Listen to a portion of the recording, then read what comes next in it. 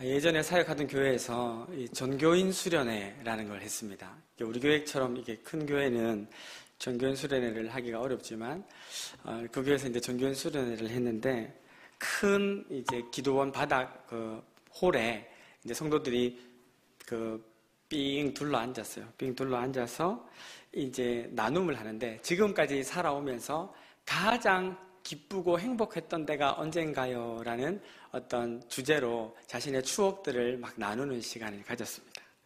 어떤 분은 결혼했을 때 너무 행복했다. 어떤 분은 첫 아이를 낳았을 때 너무 기뻤다. 이렇게 어, 각각 자기가 가지고 있는 어, 이렇게 아름다운 추억들을 하나씩 하나씩 꺼내 놓았습니다. 어, 그리고 그때 순서에 따라 일은 70이 넘으신 한 할아버지 집사님 어, 순서가 됐는데 어, 이분이 자신이 돌아 자신의 70평생을 돌아보면서 가장 행복했던 때가 언제인가를 이렇게 나누었습니다. 어릴 적 동네 골목에서 아버지랑 손잡고 달리기 했던 기억이 납니다. 왜 달렸는지는 잘 모르겠는데 아빠 손을 꼭 잡고 달리기를 했던 그때 얼마나 빨리 달렸는지 하늘을 나는 것 같았습니다. 전쟁 피난길에 온 가족이 뿔뿔이 흩어져서 아버지에 대한 다른 기억은 없는데 함께 손잡고 달리기 했던 그 기억 하나 행복하게 남아 있습니다. 아버지가 너무 보고 싶습니다. 이러면서 그 할아버지 집사님이 막 우시고요. 그 이야기를 들었던 성도들도 함께 막 울었던 기억이 납니다. 아버지 그리고 어머니에 대한 이야기를 하자면 참 끝도 없이 많은 어, 이야기들을 우리는 떠올릴 수 있을 것입니다. 어, 오늘 성경에는요, 너무나 유명한 한 아버지의 이야기를 우리에게 소개해 주고 있습니다. 이 이야기의 초점은 기다리시는 아버지의 마음, 곧 아버지의 사랑입니다.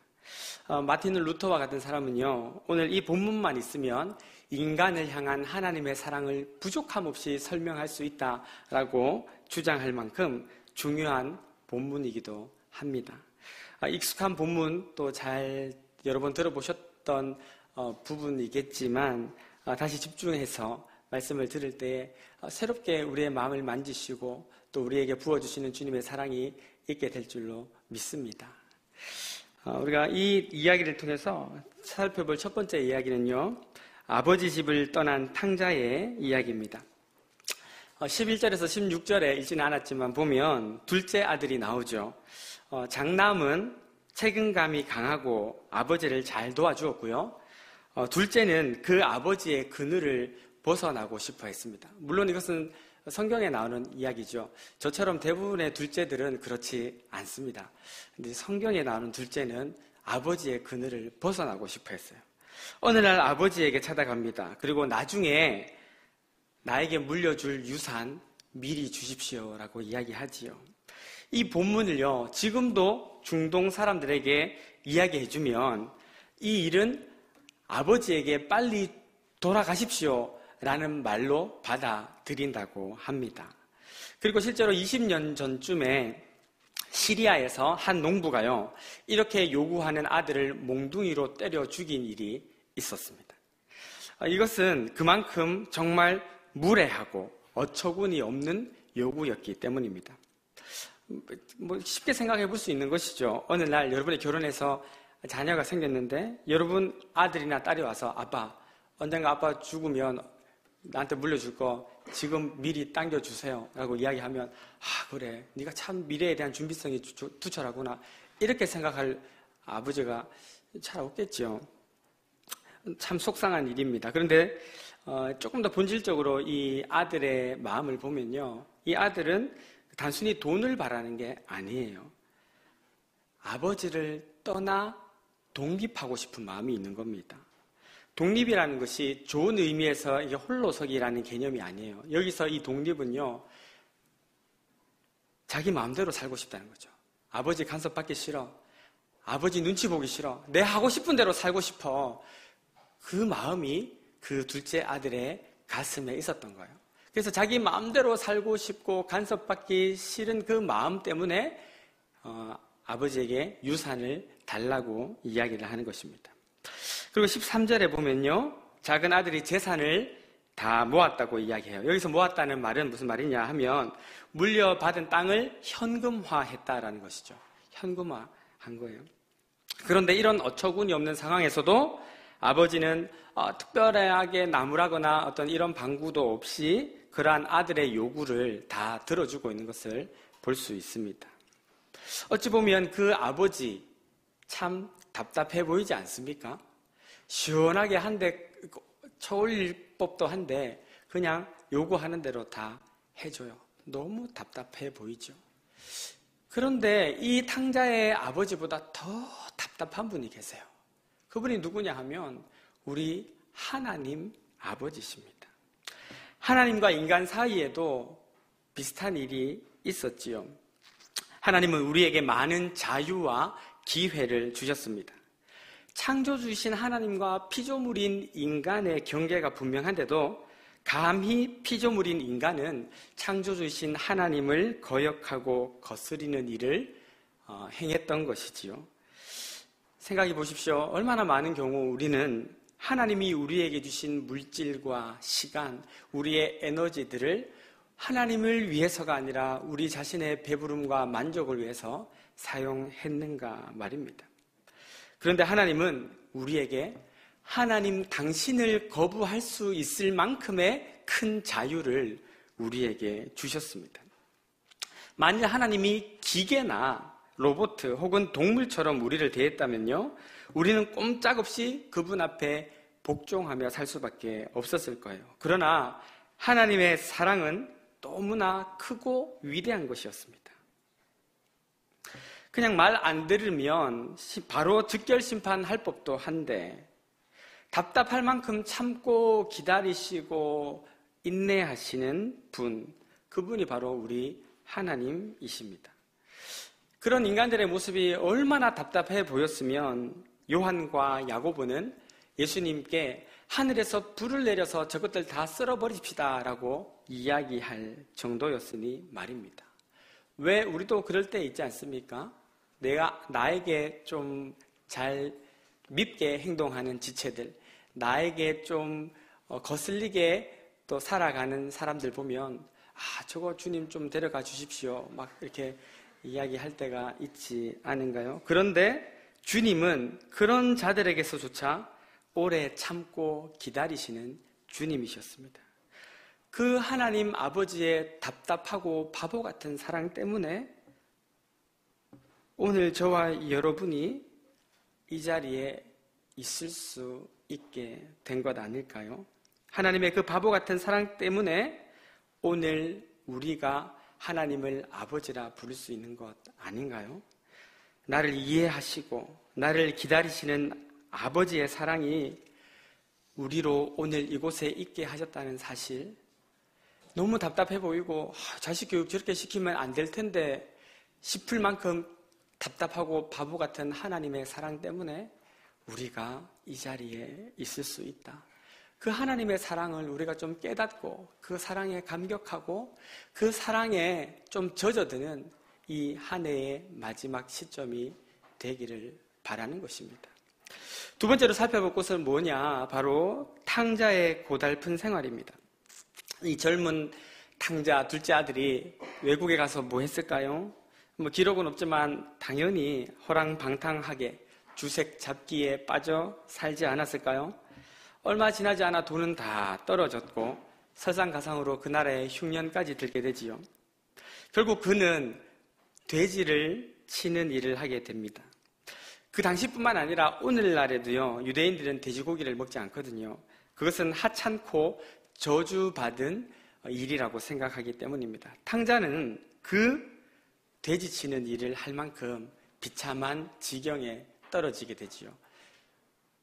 그뿐만 아닙니다. 그 비참한 가운데서도 먹을 게 없어서 돼지가 먹는 주엽 열매를 먹으며 살 수밖에 없었던 것이죠. 이것이 바로 아버지를 떠난 탕자의 현실을 적나라하게 설명해 주고 있는 내용 아닐까요? 하나님 아버지의 품을 떠난 모든 인생은 영적으로, 정신적으로 탕자와 같은 처지에 놓이게 되는 것입니다. 하나님이 주신 자유와 모든 소유를 죄 짓는데 모두조리 갖다 바치고도 허무한 가슴 한켠에 있는 빈 공간을 주님 이외에 다른 곳으로 채우려는 헛된 걸음을 계속 내딛고 있으니 말입니다. 그러면서도 탕자를 보십시오. 17절에 이에 나는 여기서 줄여 죽는구나 라고 이야기합니다. 불효 막심한 일을 저지른 자식 입장에서 염치가 물론 없고 아버지 찾아뵐 면목이 없었겠죠. 그런데 탕자가 이때만 해도 정체를 못, 찾아요. 못 차려요. 아, 이 철없는 자식 떠나보내고 아버지 마음이 얼마나 슬프실까? 내 아버지 심정이 얼마나 찢어지실까? 그렇게 생각하지 않아요. 어, 나 여기서 죽는 거 아니야?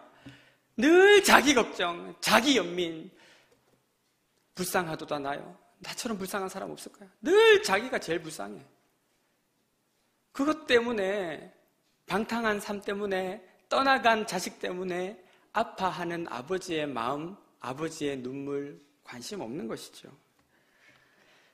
우리도 그럴 때가 있지 않습니까? 설령 우리가 회개, 잘못을 하고 회개를 한다 하더라도 내가 힘드니까, 내가 고통스러우니까 이 힘들고 고통스러운 자리에서 빨리 벗어나려는 목적으로 하나님 용서해 주세요. 그러지. 그 죄 때문에 당신의 피로 값주고 사신 당신의 자녀가 더러워지는 것을 바라보며 가슴 아파하시는 하나님의 마음은 생각하지 않는 거예요. 그저 내가 힘든 거 빨리 벗어나고 싶어서 회개하고 내가 이러다가 크게 하나님한테 한 방 맞을까봐 겁나가지고 회개 이렇게 하는 거지. 그 죄 때문에 하나님이 얼마나 가슴 아파하실까 이거 별로 생각하지 않는 것입니다.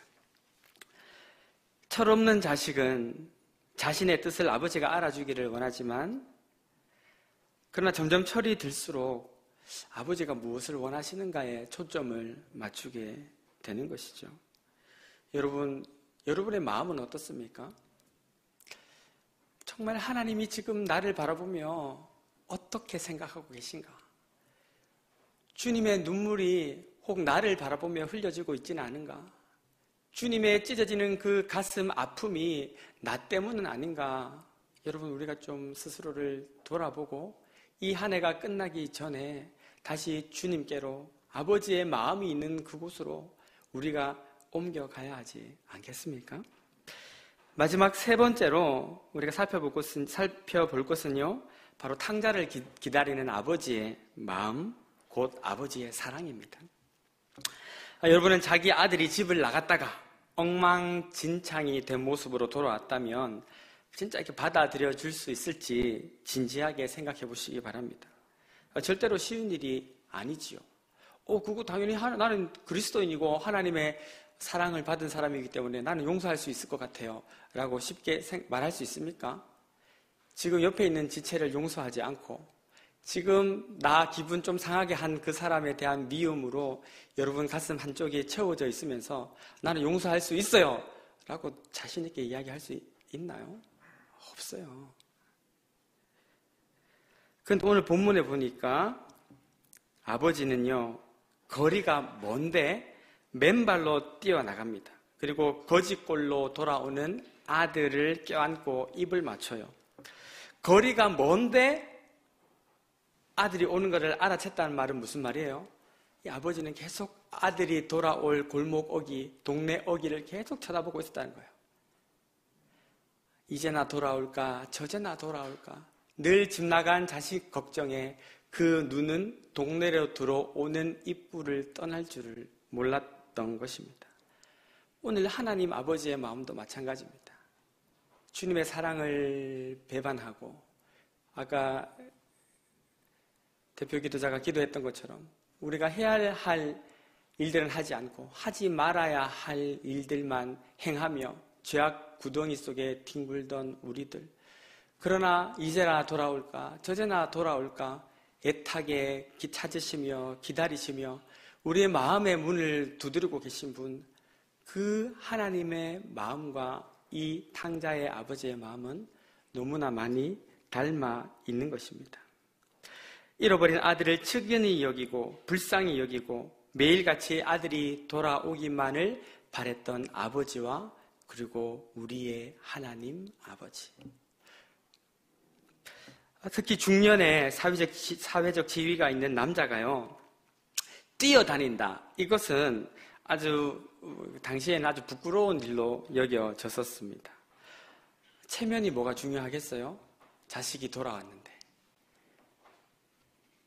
남들 시선 뭐가 그렇게 걱정이 됐겠어요? 잃은 아들이 돌아오고 있는데. 아까 말씀드린 것처럼 저는 이 본문을 묵상하면서 탕자의 아버지에게서 자신을 낮추고 이 땅에 오신 예수님을 발견하게 됩니다. 껴안고 입을 맞추는 행위는 용서의 선포를 의미하죠. 하나님 말 그대로 하나님이십니다. 그분이 뭐가 아쉬워서 인간의 몸으로 이 땅에 내려오셔야 했습니까? 그분이 뭐가 아쉬워서 침뱉음과 수치와 모욕을 당하셔야 했으며 그분이 뭐가 아쉬워서 죄인들이 달리는 십자가에 자신의 몸과 살을 찢으셔야 했습니까? 그 바보 같은 주님의 사랑, 아버지의 사랑이 오늘 우리 가운데 잔잔히 요동칠 수 있는 심령의 회복이 있기를 바라는 것입니다. 그리고 그 아버지는 좋은 옷을 입히고 살찐 송아지를 잡아 동네 잔치를 벌입니다. 뭐 요즘도 약간 그런 인식이 있지만 당시에는 의복이라는 것은요 그 사람의 신분과 지위를 나타내는 중요한 수단 중에 하나였습니다. 거지 같은 옷을 벗겨 줍니다. 그리고 좋은 옷을 입혀줘요. 이것은 네가 비록 네 마음대로 나갔다가 돌아왔지만 정말 용서받을 수 없을 만큼 부끄러운 짓을 했지만 그럼에도 불구하고 네가 내 아들이라는 사실에는 변함이 없다. 거지 같은 아들의 처참한 상황에서 그 더러운 옷을 벗겨주시고 다시 새로운 옷을 입혀주시는 아버지의 모습 연상되지 않습니까? 우리도 그렇습니다. 실수하여 힘을 잃고 낙심하고 지칠 때 때로는 더 이상 막 기도도 안 돼요. 나조차 내가 너무 꼴보기 싫어질 만큼 하나님 앞에 송구하고 염치 없을 때. 그래서 용납할 수 없는 그 상태로 억지로 텅 빈 가슴, 메마른 심령으로 이 자리에 나와 있다 하더라도 주님은 다시 우리에게 덧씌워진 거지 같은 죄악의 옷, 음란의 옷, 그리고 주님을 향한 무감각과 어떤 불순종의 옷, 이런 옷들을 벗겨내시고 다시 성령으로, 말씀으로, 은혜로 새 옷을 입혀 주시는 것이죠. 이 얼마나 놀랍고 이 얼마나 감사한 아버지의 마음이며 아버지의 사랑입니까? 여러분 중에 혹시 하나님을 떠나 탕자처럼 올 한 해를 살아오신 분들이 있으십니까? 아니면 여러분 집에 여러분의 가족들 중에 탕자로 살아가고 있는 이들이 있으십니까? 하나님께로 하나님의 사랑의 자리로 돌아올 수 있기를 바랍니다. 그리고 남은 생에 하나님 아버지를 떠나지 않고 하나님의 품 안에서 참된 평안과 기쁨을 누리며 사시기를 바랍니다. 하나님의 사랑이 오늘도 나를 기다리고 있다. 나조차 내가 용납되지 않을 만큼 쓰레기 같은 나를 주님은 지금도 새 옷 들고 기다리고 계신다. 요한복음 3장 16절 유명한 말씀 우리는 다 알고 있을 것입니다. 하나님이 나를 이처럼 사랑하사 독생자를 주셨으니 누구든지 저를 믿는 자마다 멸망치 않고 영원한 생명을 얻게 될 것이다. 그 사랑의 하나님, 그 사랑의 아버지의 마음, 그 마음이 있는 곳으로 여러분 우리의 방탕한 자리를 털어버리고 하나님을 멀리 떠나 방황하는 자리에서 일어나서 다시 그 주님께로 그 너른 그리고 따뜻한 아버지의 사랑의 품으로 돌아올 수 있는 은혜가 있게 되시기를 예수 그리스도의 이름으로 축원합니다.